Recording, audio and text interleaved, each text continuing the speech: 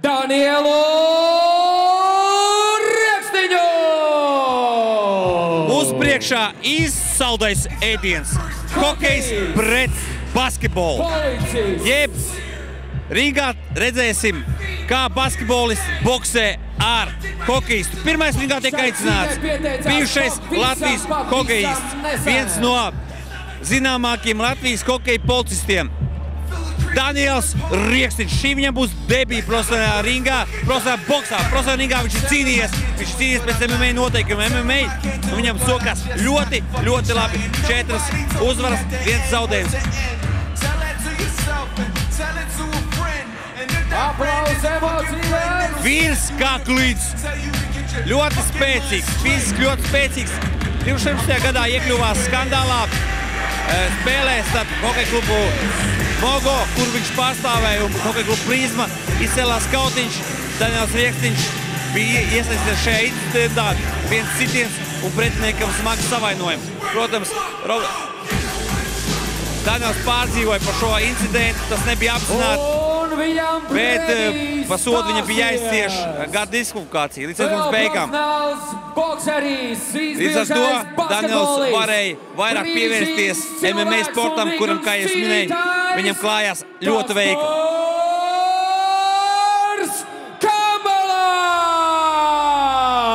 Un Robertam, atvainos Dānam Rieksniņam, hokejistam, pretī stāsies viens no leģendārākiem Latvijas basketbolistiem, tagadējiem bokserim. Rīgā tiek aicināts Kaspars Kambala. Kaspars Kambala pavisam nesen atgriezās profesionālajā boksā pēc 11 gadu pauzes. Uzvarēja Valkrievu Natviču, Kalsa Natviču un arī Kaspars Kambala. Cilvēki piecelšies kājās, lai redzētu Kasparu Kambalu. Telefoni ir izjūgti ārā, visi filmē. Sākotnēji Kasparam Kambalam bija paredzēta cīņa ar bijušo kickboks čempionu MMA, MMA cīkstoni no Ukrainas Juriju Gorbenko. Cīņa pēdējā momentā tika atcelta un organizatori negaidīti paziņoja, ka Gorbenko vietā pret Kambalu stāsies neviens cits kā Daniels Rieksniņš. Divi milzīgi, fiziski spēcīgi sportisti, kuri, kur abi pamatdisciplīnas ir komandas sporta veidi. Danielam Rieksniņam hokejs, Kasparam Kambalam boks. Es atvainojos, basketbols.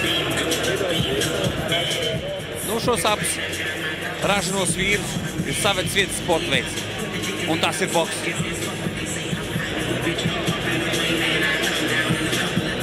Šī cīņa notiks pēc formulas 4 raundi par 3 minūtēm. Danielam Rieksnim ir milzīgs spēks šobrīd. Viņš, pēdējā izrādās pēdējos 9 mēnešus. Viņš aktīvi trenējas boksā, trenējas Jūrmalā, Jāņa Roviča boks klubā pie Jāņa Naumu. Lēdzam augumu atšķirību. Kambala ir ļoti, ļoti garš. Tikli varbūt ir dzīvē redzējuši arī Daniels Rieksniņš. Daniels Rieksniņš ir iespaidīgs vīrs, bet, bet attiecībā uz Kasparu Kambalu viņš ir tāds gals tiesīsāks. Un redzēsim, abi mīl agresīvu boksu, agresīvas cīņas. Un Daniels neliek vilties, viņš spēlēs pirmo violi. Viņš saprot, ka tālē distancē viņam boksēt nav jēgas, jo Kasparam Kambalam ir garas rokas, distance ir viņa pusē. Danielam ir jāsaīsina distance un jācenšas boksēt. Redzam, kas, kas arī ir interesanti. Daniels Rieksniņš ir krēlis. Ar krēliem ņem man atmiņu neviņu. Kaspars Kambals vēl nereizi nav cīnījies. Tiesa, sparingos viņam palīdzēja kvēļi. Viens no sparingu partneriem bija Mārs Tibufējos. Arī spēcīgs, fiziski, atletisks, smagsvars. Negaidīt mierīgā tempā ir iesākusies cīņa, jo es prognozēju, ka šie puiši ilgi nevilks gumiju garumā. Viņi abi uzreiz centīsies noskaidrot attiecības un, un teiksim tā, neiet tālāk par diviem raundiem. Šobrīd nu, respekts ir vienam pret otru. Abi ir fiziski spēcīgi. Kaspars pietur distanci, cenšas turēt Danielu Rieksniņu no sevis drošā attālumā. Daniels Rieksniņš kā jau mazāks, nu, vismaz attiecībā pret Kasparu Kāmolu.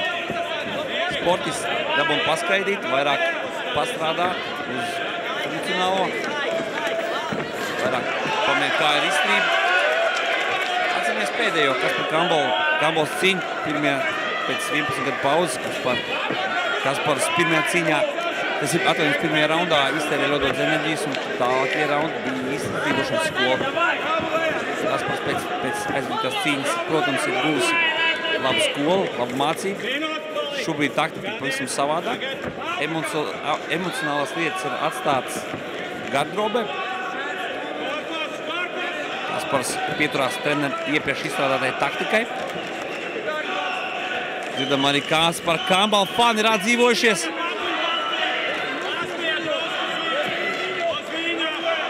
Iespējams, šī ir tā cīņa, ko Skonto Kalē sanākšie sporta fani gaidīja visvairāk. Divi milži, viens pret otru.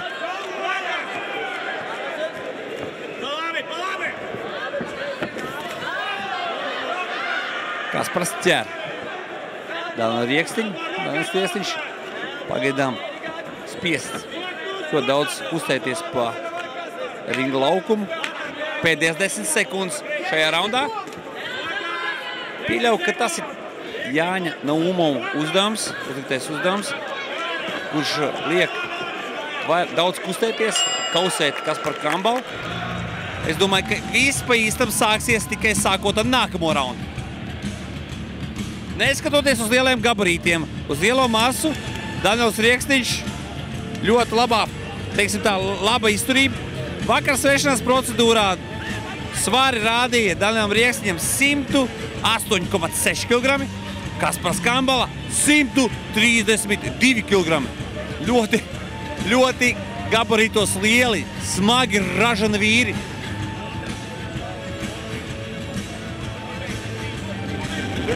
Kaspars Kambala jūtās labi. Jā, elpošana ir diezgan smaga, bet nu, Kaspars Kambala Viņš ir tāds gargabolnieks. Viņš katru raundu iespiedz.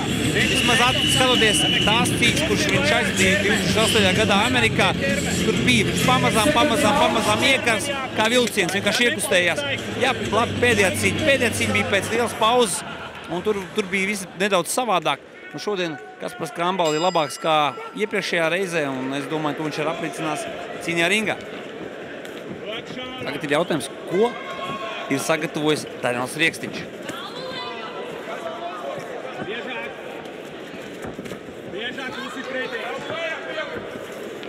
Kaspars Kambala aktivizējies. Un kaut spēcīgs ir paslīt Daniels Rieksniņš. Slāpi ringa grīda. Sarkanais stūris, kurā tik, tikko saimniekoja Kaspars Kambala.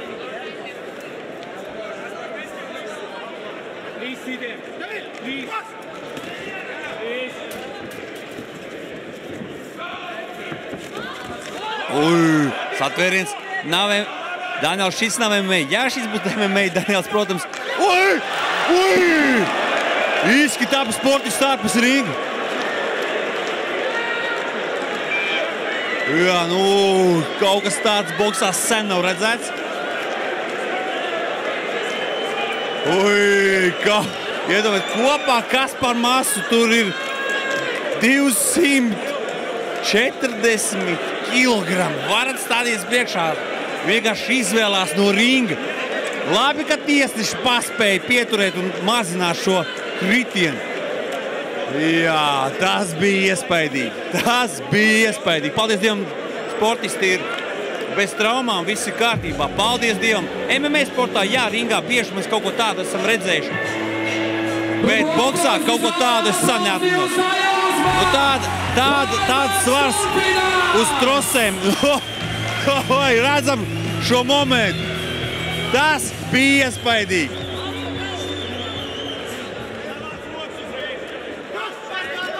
Un Daniels Rieksniņš metās virsū. Atkal, oi, turam trosus, turam trosus. Daniels Rieksniņš ir iekars. Aizvaldījums saņems Daniels Rieksniņš. Šeit nav mēs, šeit satvēriņš šādi nav atļaut.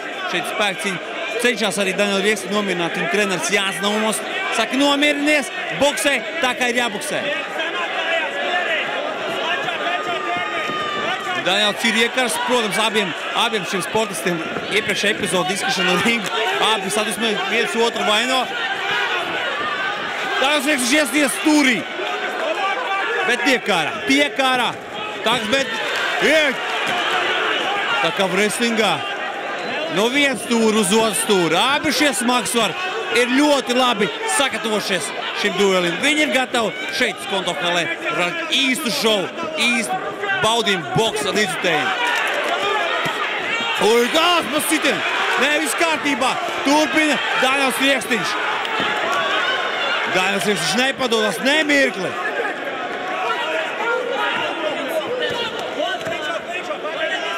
Satvērums kliņšā. Šeit kliņš iniciators ir Daniels Riekstiņš. Tātad sportists ir pagurs. Arī, arī Kambala izturēs ļoti daudz enerģijas. Protams, šobrīd abas sportisti cenšas atjaunoties šajās satvēruma brīžos. No Valera Ragozina mutiski aizrādījumu saņem Daniels Riekstiņš. Ragozins saka, var turpināt cīņu. Un atkal, nu, šeit nav MMA, šeit nav MMA. Oi! Iekarst! Jā, nu, Daniels Riekstiņš, viņam ir grūti pārsēties. Vēl nesen, vēl nesen Daniels Riekstiņš Nu, par, par, šo, e, par šo epizodu Danam Riekstiņam tiek noņemts viens punkts.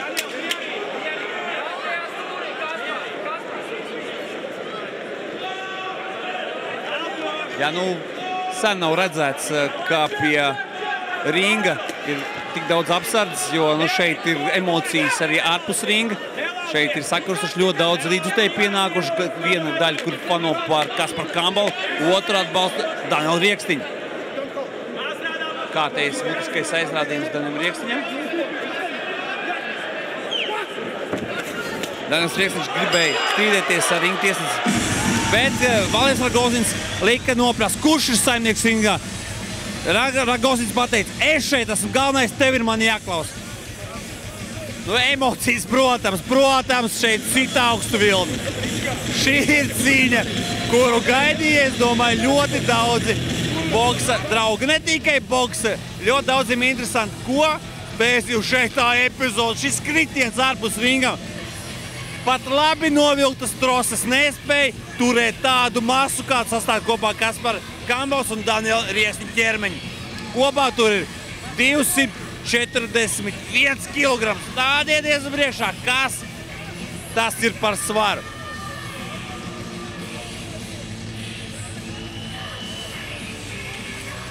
Seconds out! Otrais, otrais rauns. Valērijas Ragozins dzen prom no ringa abus sportistus sekundantus. Jā, nu vēl, vēl ir nedaudz, vēl ir paņemt tehnisko pauzi, jo pārāk, nu tas ir iespējams, ka no Kambalas puses stūra tāds tehnisks gājiens, taktisks gājiens, kad uz atpūstos, un tad šeit ir abiem noteikumi vienādi, ap divu uzreiz var atpūsties, pagur, pagur. Pirmie divi raundi bija fantastiski, un šis, es domāju, nebūs neinteresantāks. Kaspars Kambals var redzēt, ka Kasparam Kambalam tomēr ir daudz lielāka pieredze profesionālajā boksā. Viņš ļoti labi izjūt distanci, labi strādā ar kreiso roku. Nu, Daniels vairāk emocionāli. Daniels saprot, ka no tālās distances boksē, tad izteikt boksu, kā, kādu grib boksēt Kaspars Kambals, viņam būs grūti pavilkt. Tāpēc Daniels Riekstiņš ir spiests cīnīties fiziski, nedaudz dažreiz pamanīt. Šeit uz gozu leciens. Tas boksā nav atļauts, bet Rakos viņus ne, neizrāda. Boksā šie sitieni lecienā nav atļauti, bet nu, tik sāsināta cīņa, ka Ragozins vienkārši neiemaisies. Un tad šeit bija iespēja tad iedeva ar aizrādījumu. Valēm Ragozinam šobrīd ir ļoti daudz darba. Kaspars Kambala uzbrukumā. Kaspars Kambals svīt. Iedzīts pie stūra. Daniels Riekstiņš, bet tiek ārā. Daniels Riekstiņš norāda tiesību, ka citiens pa pakaus. Bet, ja tiesas to neredz, viss ir kārtībā jāturpina. Nedrīkst diskutēt ar tiesnes. Tiesnes dara savu darbu, viņš ļoti labi zina, ko darīt. Kambals sit! Oi, atkal, atkal! Atkal izkrīt. Nu, kas notiek šajā cīņā? Daniels Rieksniņš liek lietā ieročus, kurus varbūt nedrīkst pielietot, un viņš to takedowns viņš pārzina. Nu, viņš tomēr starp hokeju daudz aizvadījis ar MMA cīņas. Nu, bet boxā, boxā tas ir diezgan nesportiski. Bet šeit emocijas ir augstu vilni. Nu, šeit vīri grib noskaidrot, kurš tad ir stiprākais šeit par visiem. Atkal viens punkts noņemts. Bet tas ir noņemts Kambalam. Jā, nu abi šodien tiek ties, uh, sodīti par, par nesportiskām rīcībām. Atkal. kas, kas ir? Viss cīņa apsver par ko? Diskvalificēts Daniels Rieksniņš. Daniels Rieksniņš tiek diskvalificēts.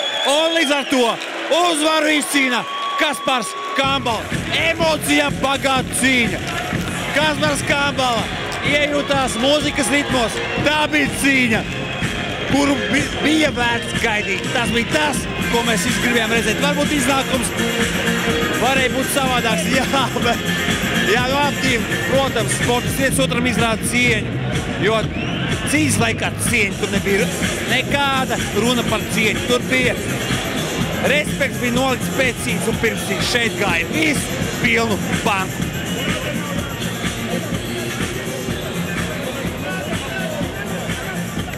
Bija nu, tik emocionāli mačs, es sen nebiju redzējis. Tik daudz notikumu, tik daudz emociju. Protams, Jānis Nūmus nedaudz pārdzīvo. Viņš ir neapmierināts. Viņam likās, ka varbūt nevajadzēja apstādināt, bet viss ir korekti.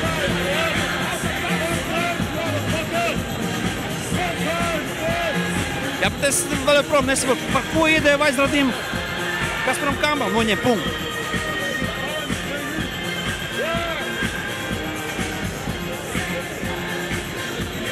Vai tas tomēr bija uh, otrs uh, mīnusiņš uh, Danam Rieksņam? Es, es to epizodu nedaudz palaidu garām.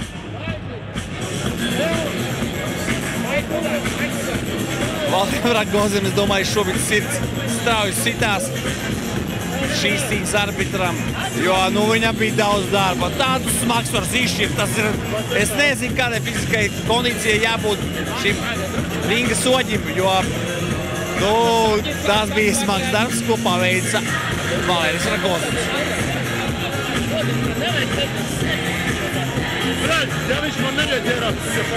Gaidām oficiālo uzvarētāju paziņošanas brīdi. Skatītāji piecēlušies kājās.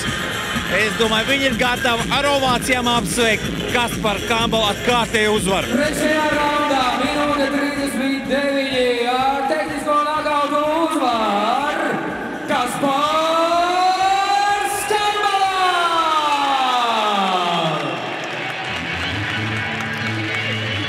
Kaspars Kambala izcīna kārtēju uzvaru, iespējams skaļāko, skandalāzāko un emocijām bagātāko uzvaru.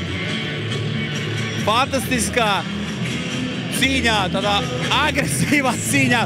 Bet priekš skatītājiem tas bija īsts saldais ēdiens. Ja jūs redzat, kas šobrīd cīņas laikā notika Skonto sporta halē. Cilvēki bija piecēlušies kājās. Katram, kuram bija telefons kabatā, viņš bija izlūgts ārā. Un visi filmēja šo cīņu. Jo, jo pirms cīņas daudz nojaut, ka tas būs kaut kas to vērts. Cik mēs kopā trenējamies, arī šeit tāds skatieties uz tevi. Uh, iedvesmojos. Zinu, tev dzimšanas diena. Tā ir arī spārta. No Tīm Kambala. Uh, gribu pateikties Pavbeit. Uh, first mir. Producēvā trakais zvejnieks Kārlis. Kas man vēl uz muguras aizmirst, tomēr boksējos. Nokaroči visiem, kas man atbalstīja. Bet vislielākais paldies jums, kas bija klāt šodien. Es jūs visus dzirdēju. Nākiet, turpiniet nākt, un es attaisnošu jūsu cerības.